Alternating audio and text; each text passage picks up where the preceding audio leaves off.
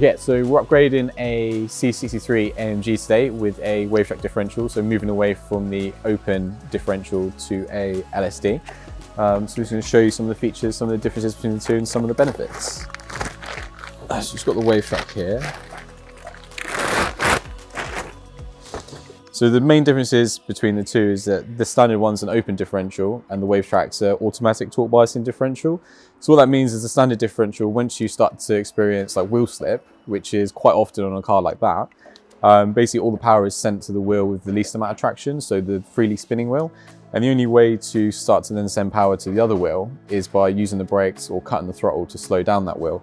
So with the WaveTrac, you actually get drive to both of the wheels for more of the time, so you get more traction, more grip, so the car becomes much easier to do sort of like uh, like burnouts, um, to do some drifting, just generally more stable in, in like inclement weather and things like that.